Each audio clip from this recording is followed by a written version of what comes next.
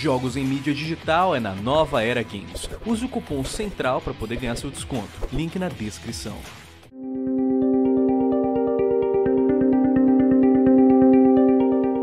Já tem sido um debate no mundo gamer recentemente a questão da Blizzard e de como ela tem administrado seus jogos. Ela já se meteu em polêmicas devido a, por exemplo, Diablo Immortal, a questão do Overwatch está decaindo e mais recentemente a questão que eles demitiram mais de quase 700 funcionários só por aparentemente corte de verbas, sendo que depois eles foram lá e deram bônus milionários para os seus executivos. Ou seja, a companhia parece estar em decadência. A gente até já trouxe um vídeo aqui na central falando do porquê que a Blizzard está falindo.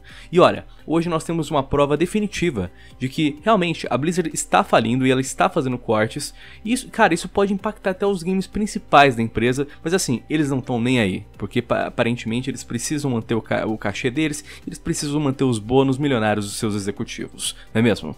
Portanto, galera, quem falou com vocês é o Leandro Central e hoje eu acho que a gente vai explicar para vocês a situação que tá rolando no Overwatch competitivo e como a Blizzard tá conseguindo ferrar o cenário uh, mundial, pelo menos da Copa do Mundo, né, cara? Sim, não só a Copa do Mundo, isso aqui pode ser só o começo de uma grande merda que vai acontecer provavelmente em todos os competitivos aqui da Blizzard, tá ligado? Uhum. E eu me sinto triste com isso e preocupado porque eu não queria ver a Blizzard no, no lugar onde ela tá hoje, mas assim, depois daquele anúncio do Diablo, é, decisões erradas em vários jogos, assim, sinceramente, eu acho que a Blizzard chegou num, num estágio que para recuperar agora é muito difícil. Acho que a Blizzard de verdade, a, a, raiz, não existe mais, né? Acho que depois que ela se mergeu com a Activision, e aí a gente tem as situações cheias de loot boxes, DLCs, uh, a, a, situação atual da Blizzard, né? Mandando game pra mobile, tipo Diablo Mobile, velho. Quem que é isso, saca?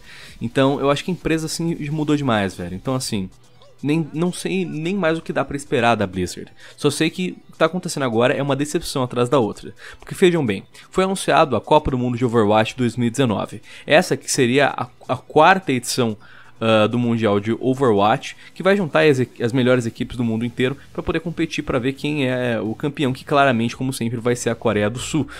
né? Sempre vai ser a Todo Coreia ano. do Sul que, que vai ganhar todo quanto é merda de, de esportes, é impressionante. Foi anunciado novamente, né, como, como de praxe, a Copa do Mundo de 2019, e eles falaram que teriam algumas novidades, né? Eles teriam algumas alterações, principalmente na maneira uh, de como o torneio ia funcionar. E isso, à primeira vista, seria uma mudança positiva, porque a proposta da Copa do Mundo de 2019 seria que todos os países do mundo teriam uma chance de competir.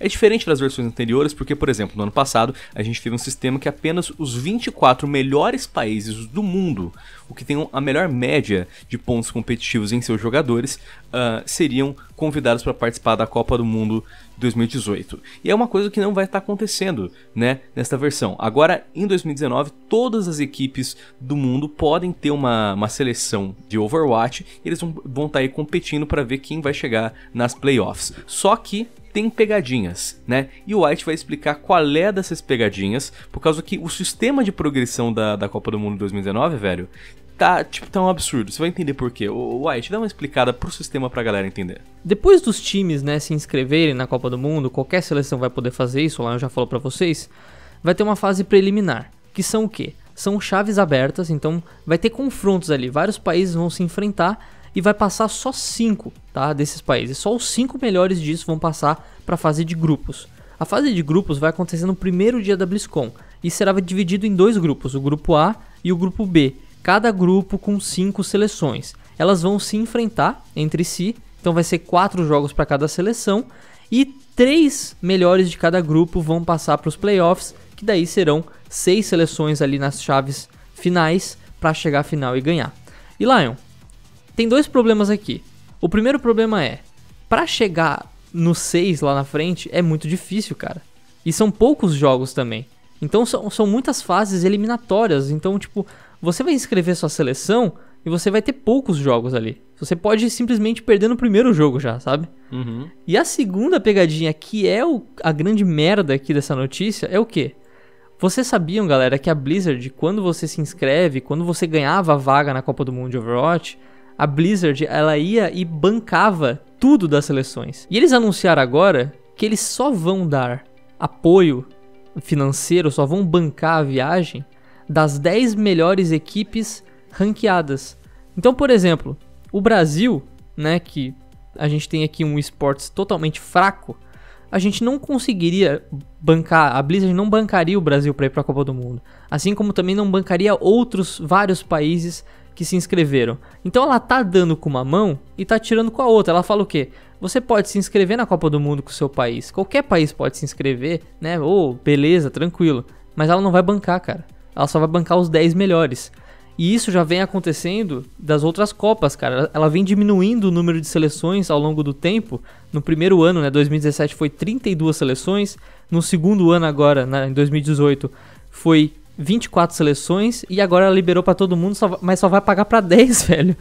Então, Laio, complicado, né? A Blizzard tá cortando gastos, parece que ela tem que cortar gastos porque ela tem que dar muito bônus milionário, né, para os seus executivos, porque uhum. né, ela não uhum. pode bancar as seleções. E isso, o cenário competitivo vai piorando, os jogos já estão piorando pra caramba e agora ela quer ferrar o competitivo também. Eu não sei mais para onde pode respingar a merda da Blizzard. Sério, é tipo, todas as outras Copas do Mundo, a Blizzard ia lá e pagava pela viagem, custeava, né, afinal, a competição, né, uma competição deles, eles que têm a ganhar com isso, não a gente. E aí o que acontece? Agora eles viram e falam que eles só vão pagar as despesas, só vão pagar a viagem das 10 melhores equipes. Ou seja, vai rolar um favoritismo, né? E, inclusive, dessas 10 equipes, os Estados Unidos claramente vai ser uma das 10 melhores equipes, ou seja, uhum. eles vão pagar para os americanos irem para os Estados Unidos, sendo que eles já estão lá, saca? Tipo, vai pagar uma viagenzinha para Los Angeles. Nada demais. Agora, por exemplo, a galera, não sei, mano, galera do Brasil, galera do Brasil que quer ir para lá, vai ter que pagar a própria viagem. Você acha mesmo que o brasileiro vai ter dinheiro sobrando para poder ir para lá, velho? Eles dão com uma mão falando que agora qualquer país pode ir participar da Copa do Mundo, só que eles tiram com outra, né? Falando que, mas assim, a gente não vai bancar nada. É vocês que banquem, só vai Se bancar vira. os 10 melhores. Então, é, é a pegadinha, né, velho? É a sacanagem deles. Porque, na minha concepção, isso é claramente a Blizzard passando por problemas financeiros. Eles viram e falam: Ó, a Copa do Mundo é muito cara vamos dar uma cortada. Vamos abaixar aí de 24, né? Porque começou 36, né? Que você falou. Depois 32 para 24. 32, agora 24 e agora eles vão abaixar para 10. Só que assim, eles viraram e falaram: Ó, 10 não vai dar, vai pegar mal. Então vamos só pagar então libera 10 pra tudo. e é. libera pro resto. O resto, que quem, quem tiver dinheiro venha. Entendeu? Espertos. Os, os caras são muito ligeiros, saca? Só que assim, a gente que tá percebendo, que tá vendo o que tá rolando por debaixo dos panos, a gente consegue perceber claramente que isso aqui é o quê? É corte de verba. Isso aqui a Blizzard não tem mais dinheiro nem para pagar a porra da Copa do Mundo deles, velho. Tem gente aí que tá ainda no cenário do Overwatch, né, e comenta que ah, não, a Blizzard não liga pro Brasil, não liga pro competitivo no Brasil, não liga pro cenário competitivo brasileiro. Cara, não liga o caramba, ela não tem dinheiro, velho. Se ela tivesse dinheiro, ela ligaria pro cenário do Brasil, ligaria pro cenário da Argentina, do Chile. Mano, ela não tem dinheiro, velho. A Blizzard tá falindo, cara. Ela fica cortando verba. A Activision vai lá e fala: ah, a gente teve uns maiores lucros, não sei o que. Tá, mas cadê esse lucro, cara? Por que vocês não estão investindo? Por que a Blizzard tá na pior, tá ligado? Então, assim, os caras têm lucro pra, pra bancar o, o executivo, tá ligado? Enquanto os jogos ficam falindo. Me diz quantos jogos a Blizzard faliu nesses últimos anos aí, velho. Heroes of the Storm fechando, Overwatch decadente, Diablo Immortal para celular, o DLC lá do Warcraft fracasso. O que que falta lá? O que que falta para fracassar na Blizzard? Mano, agora é só derrubar Hearthstone e acabou, velho, porque não tem mais o que fazer, saca? Eles não, não lançam games, quando lançam, é game como serviço, e o serviço da Blizzard, vamos, vamos admitir, o, os games como serviço da Blizzard são muito ruins, cara.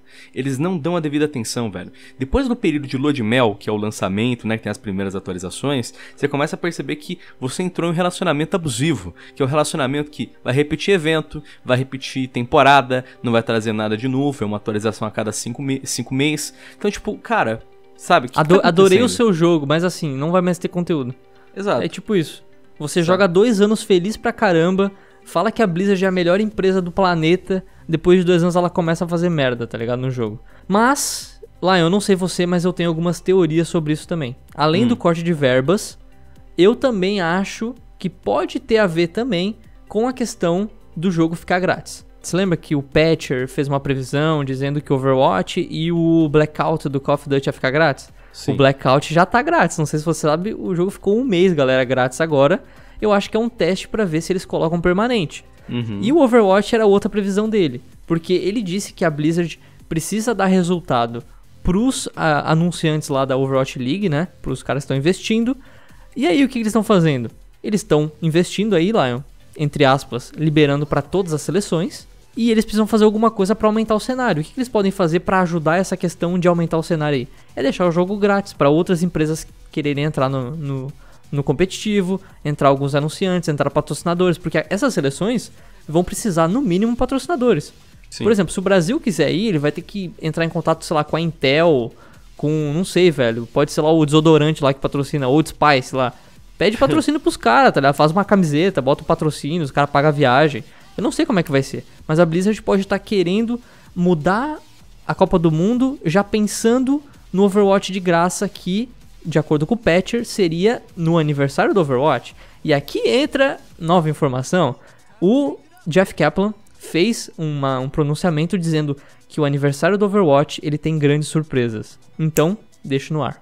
Bem, é uma possibilidade, né? Até porque, como você falou, o jogo precisa aumentar o seu cenário competitivo. Eles estão focando muito em competitivo, só que é global, né? Eles não estão focando aqui no Brasil, eles estão focando lá lindo na Overwatch League deles. Sim. E aí eles querem o quê? Mais audiência. Para conseguir mais audiência global é só deixar o game de graça. League of Legends também é gratuito e tá aí com um cenário competitivo foda. Tem um bilhão de torneios aqui no Brasil mesmo, tem um mundial e todos a, a Riot consegue, sabe, dar o apoio necessário. Agora uhum. aqui o Overwatch vai lá e só se, sabe, só se predispõe a ajudar 10 pessoas, 10 equipes, saca? Tipo, cara, você vê 32 depois no ano seguinte, 24 e agora 10. Mano, eu fico pensando, Copa do Mundo de 2020, se rolar, vai ser o quê? Duas equipes pagas? Vai ser só a galera que tá indo pro fina, pra final, o resto tem que pagar isso tudo. Se, tipo, isso se até lá durar, né? É, é um absurdo ver isso acontecendo, é uma tristeza. Mas assim, né, o que se faz é que se paga, né? Eles tratam seus consumidores, né, e seus criadores de conteúdo dessa maneira, o karma bate na porta. Né, acontece da seguinte maneira: agora eles estão tendo que fazer demissão, estão tendo que fazer corte de verba, eles continuam o quê? Administrando o jogo mal dessa maneira. Mas eu quero saber a opinião de vocês. Deixa sua opinião nos comentários, bora debater sobre essa notícia, beleza? Não se esqueça também de se inscrever, clicar no sininho de notificações, assim você não perde nenhum upload aqui da central.